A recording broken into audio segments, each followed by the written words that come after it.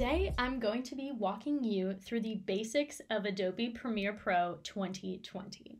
Now, a lot of what I'm going to be teaching you applies to the older Adobe Premiere Pros as well. So, if you have an older program, say 2015, these will work as well. There will be minor differences, but nothing substantial.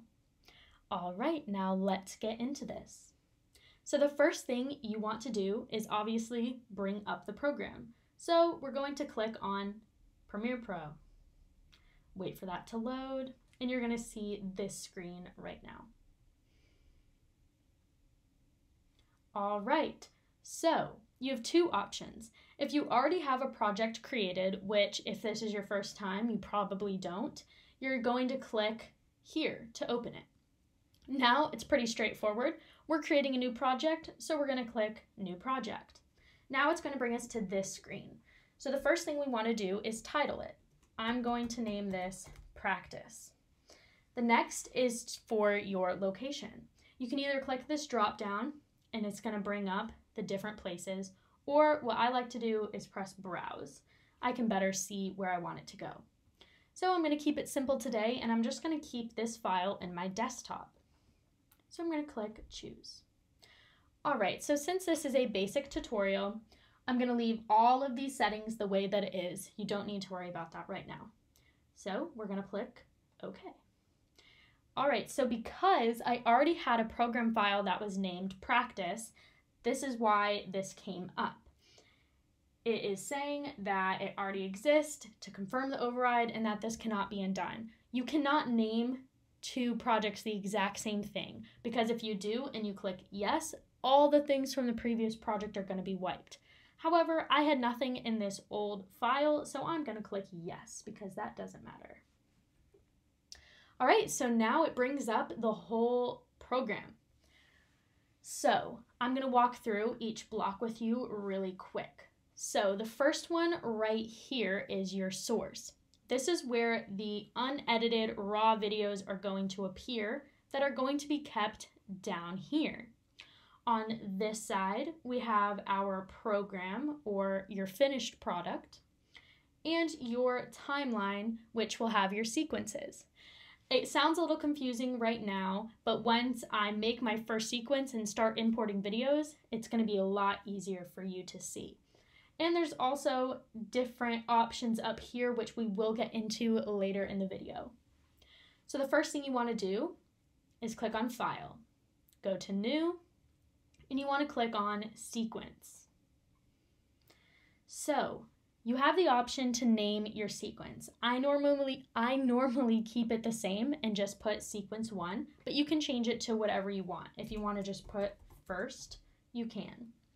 Now, don't worry about all of these things here. Since this is a basic beginner tutorial, you don't need to get into that. But if you did, you do have the option to change that later in your settings.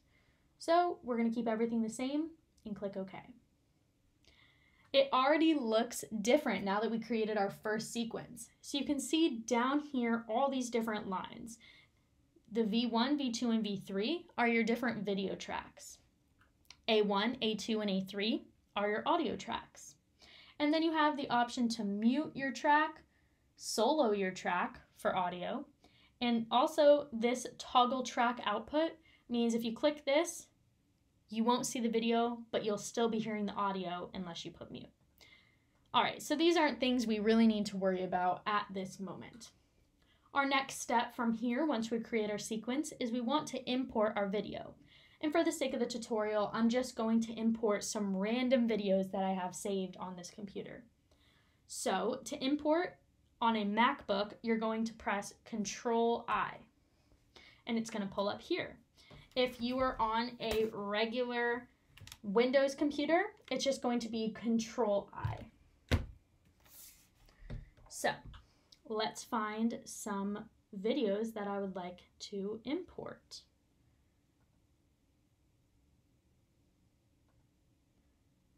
Hmm, let's see. So many different options. Okay, so we are going to, I'm just going to click these random clips that I have selected. And I'm going to press, and I'm gonna press import. All right, so you saw what happened. All the videos came in this folder over here. Now, what I like to do, because they all come in and out of order, if you go right here and press sort icons, you can sort it in whatever way you want. The best for me is name. So, because of that, it puts them in chronological order of how I shot them because I imported them directly from the SD card on the camera, and those are the names. So 6237, 6238, 6239, and so forth. So now what do we do from here? So say you're scrolling through and the first part of your video, you really want it to be this main tent. You're going to double click on the video you want and you have the option here to go through and what parts you want. So I'm going to start it at the two second mark. It's just an arbitrary number, doesn't mean anything to me. It's just for the tutorial. So how do we cut it? You're going to press I on your keyboard for the start of the video that you want. Now, say you want this three seconds long. We're going to stop it at the five second mark. I can't get it exactly right now with the mouse. Now, if you want to get it exactly to five, five seconds, you can just go on the arrows on your keyboard, click the back, and you saw what that did. You can do that by the milliseconds. All right, so now we have a perfect five seconds, and to cut, what I just did was press O on our keyboard. So, for the start of the video, you want to press I on your keyboard, and to end it, you want to press O. Now, to put it onto your sequence, you want to press the period. And it did that here. So you're not seeing anything. You might be wondering what went wrong. All it is, is the sequence is very large right now. So to zoom in, just press, oops, you just want to press the plus sign. Now you see this blue line, it's highlighted on this box. So when I went to press the press, it magnified it on this source instead of doing on the sequence like I want. So to change that, you're just going to take your mouse and you're going to click and make that blue. And then now you're operating in here. I'm pressing the plus sign to enlarge that in size.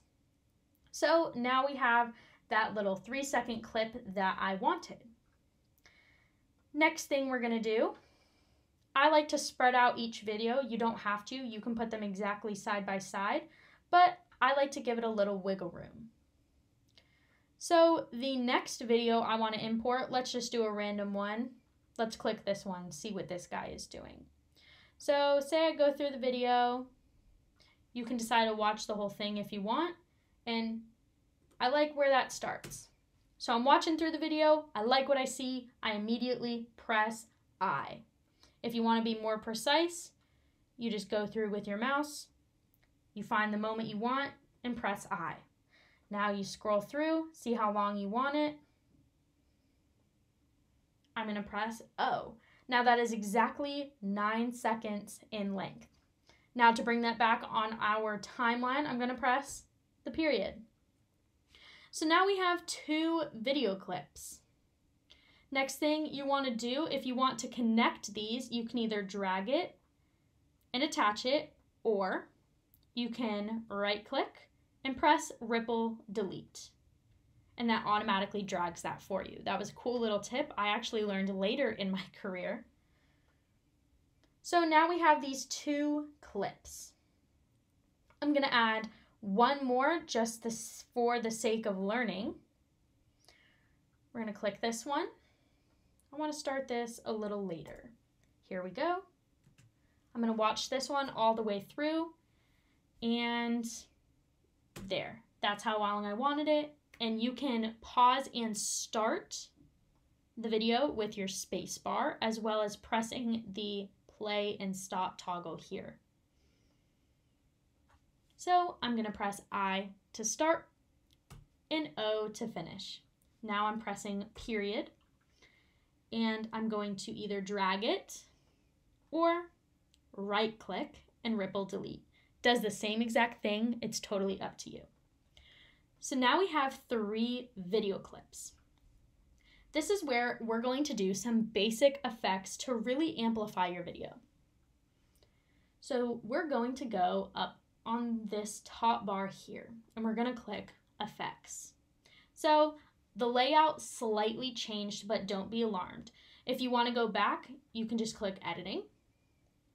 Or if you want the graphic side showing like we originally had it, you just click graphics. You have all these different things. And what's really cool is you have a learning option to learn through everything that we're doing here a little more in depth as well. So that's what's really awesome about Premiere 2020 is it comes with this. Unfortunately, the older versions of Premiere do not have that. So that's probably why you're watching this video. So we're going to go to the Effects tab. And now for the video, we want to go to Video Transitions, which is right here. Click that little arrow and there's a drop down of tons of different transitions for you to use in your video. The one I most commonly use in my day to day at work is called the cross dissolve. It's super simple. You can really manipulate it into doing what you want, and it really just gives it this clean, sleek finish. And gives it that, I don't know, professional touch, I would say. So now we're going to just drag that. You saw what I did? I'm to do it again. We're going to click the cross dissolve, hold that down on our mouse, and drag it to the video we want. Right here, click drop. So I'm going to play through and show you what it does. See, it just opens it up a lot slower versus not having it at all. It just slowly opens the video. Now say you want the video to start sooner. You can just amplify your timeline, which again, you're gonna press the plus, click on the transition, and then when this little red line comes up, you can adjust the duration of the transition. You can also double click and set the transition manually as well. And that just gives it a quicker open. Or if you want it way longer for, say, a more dramatic effect, you can leave it longer. And to zoom back out, you just press the minus sign on your keyboard. All right, so now we have a short little video. We're gonna run through this and then see it does an automatic, just jumps to one video to the next plays through. He's working on something. And then, boom, it cuts to the next clip. Obviously, these are random clips. If you are really trying to make a professional style quality video, you're going to want to use three shot sequences, which I might make a video about how to better operate a DSLR and learn those basics as well. So that should be coming shortly. Now we're going to play that. So you saw that ending, it was kind of abrupt. It just, boom, automatically goes to black. So we can either put another cross dissolve, just like we did for the first, and it's going to fade that out. Or we can say if we want the screen to go to white, we can just click dip to white here. And boom, it goes to a white screen. There's tons of transitions to play around with if you are interested.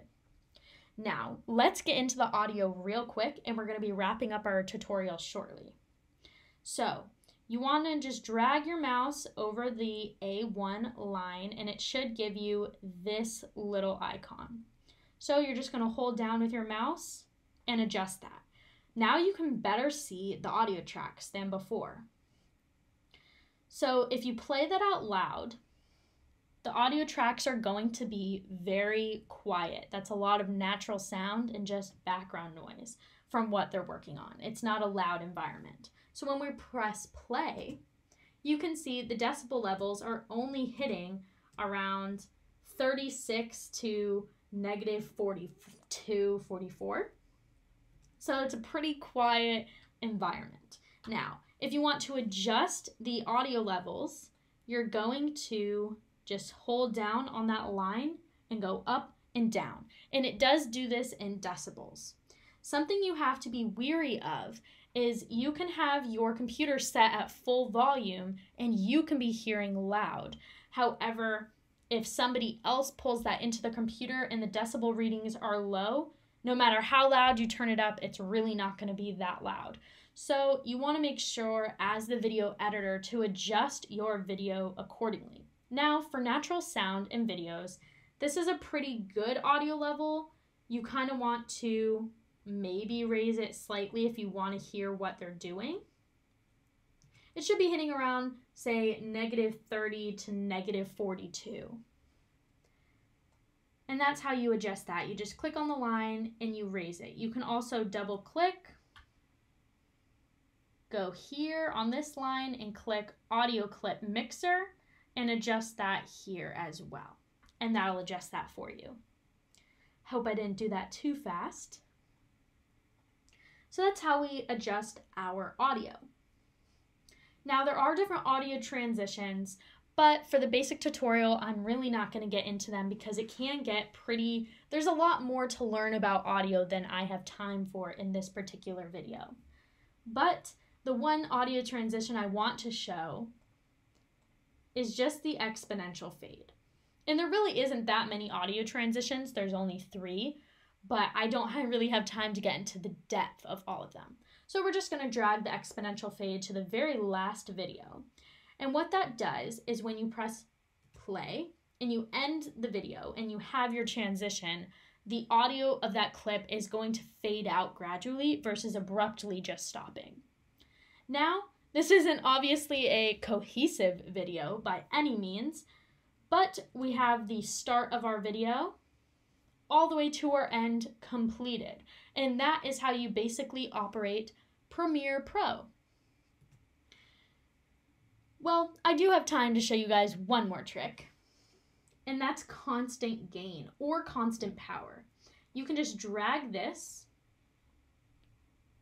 onto your audio to start, and that does give it that gradual increase so you're not abruptly hearing the audio at first either. So that's a good trick once we get into the more in depth about Premiere, that's when I can show you key points and how to really adjust your audio to make it super crispy clean and we can get into using audition as well.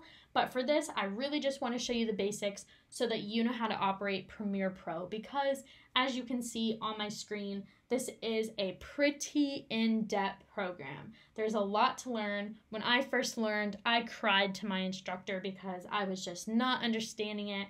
I didn't know how to use a dslr and I am a broadcast journalist in the Air Force, so it was something that I needed to do and needed to learn to graduate. So it got pretty stressful.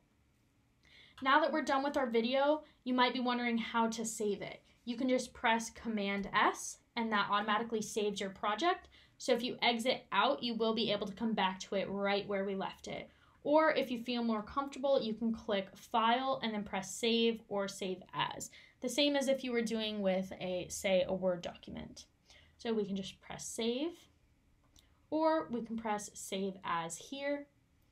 And it's going to be the same um, type of format that came up when we first created the project as well. So we're just going to press save. And it's saying that it already exists, so we can just press replace. All right, everybody, I hope you enjoyed and I hope you learned a little something. If you are interested in more tutorials and you want to get more in depth, please comment below and please subscribe to my channel. I'm going to have a lot more videos ranging from this to the Air Force, my life. I'm going to get into all of it. So press the subscribe button and I hope you guys enjoyed.